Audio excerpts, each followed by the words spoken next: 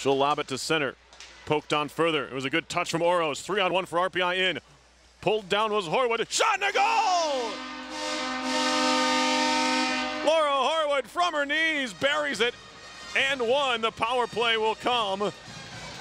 Engineers take a 2 0 lead. It's the fifth of the year for Laura Horwood, who's had a fantastic weekend, culminating with that one there. It was a pretty shot and a highlight reel finish for the senior from Belleville, Ontario.